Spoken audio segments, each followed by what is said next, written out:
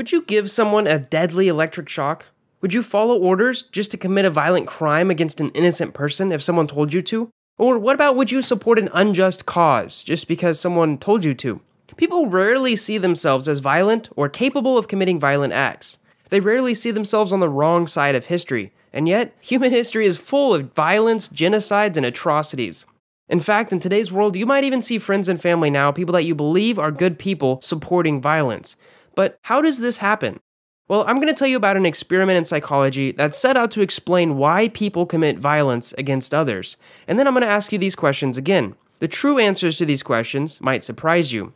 So, this study is called the Milgram Shock Study, also known as the Milgram Experiment. Its name comes from Stanley Milgram, the psychologist behind the study. So, Milgram was born in the 1930s in New York City to Jewish immigrant parents. As he grew up, he witnessed the atrocities of the Holocaust from thousands of miles away. How could people commit such atrocities? How could people see the horror in front of them and continue to participate in it? These questions followed him as he became a psychologist at Yale University. And in 1961, he decided to set up a study that might show how people follow orders from authority, even if it goes against their morals. So, how did the study work?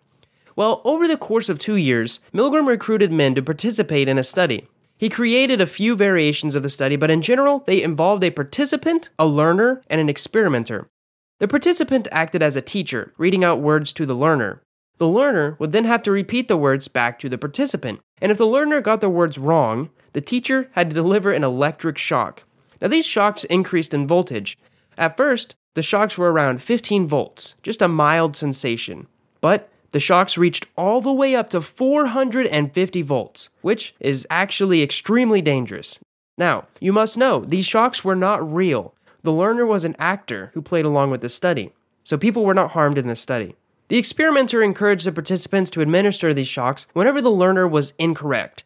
As the voltage increased, some participants resisted. In some variations of the study, the experimenter would urge the participants to administer the shocks. This happened in stages. Some participants were told to please continue, and eventually they had no choice but to continue. In some variations of the study, the actor would beg the participant not to administer the shocks, complaining of a heart problem. In some cases, the actor actually would even fake death once the highest voltages were reached. So, you might be surprised to hear that this study even took place. There are obviously some ethical concerns behind asking participants to deliver dangerous electrical and even deadly shocks. The trauma of that study could impact the participants, some of whom did actually not learn the truth of the study for months after it was over. Maybe they thought they killed someone. But you might also be surprised to hear that a lot of participants did actually administer the most dangerous shocks. After the experiment was over, Milgram asked a group of his students how many participants they thought would deliver the highest shock, and the students predicted 3%. But in the most well known variation of the study, a shocking 65% of participants reached the highest level of the shocks, and every single participant reached 300 volt levels. So the Milgram shock study took place over 50 years ago, and it's still considered one of the most controversial and infamous studies in modern history. The study even inspired TV movies. But not everyone praises Milgram for his boldness. The results of the study aren't particularly optimistic, and there have been critiques from psychologists over the years. After all, Milgram's selection of participants wasn't perfect. All of the participants were male, a group that only represents 50% of the population. Would the results be different if women were asked to deliver the electric shocks? Another factor to consider is that, like in the Stanford prison experiment, all of the participants answered a newspaper ad to participate in the study for money. Would the results have been different if the participants were not the type to volunteer for an unknown study? Other critics believe that documentation of Milgram's experiment suggests that some participants were coerced into completing the study. Psychologist Gina Perry believes that participants were even bullied into completing the study. Perry also believes that Milgram failed to tell the participants about the truth of this study. Rather than telling participants that a learner was an actor and shocks were never delivered, experimenters simply allowed participants to calm down after the study and then send them home. She believes many were never told the truth, and in that case, it's not very ethical, especially when their participation could have meant injuring another person.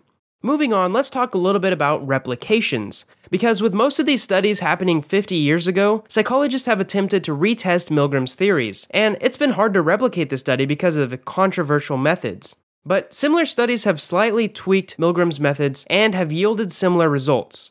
Other replications takes Milgram's findings a step further. People are more obedient than they might seem.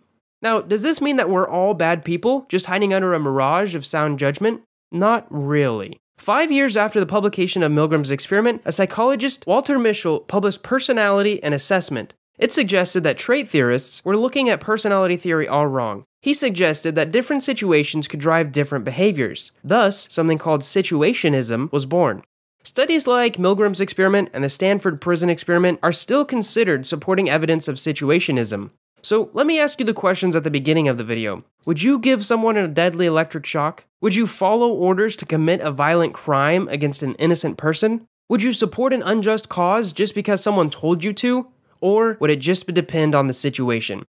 I hope you really enjoy this video on the Milgram shock study, and I definitely hope you learned something. If you have any questions at all, feel free to leave a comment below or check out some of the other videos in my social psychology series. Thanks for watching, and I hope to see you in the next video.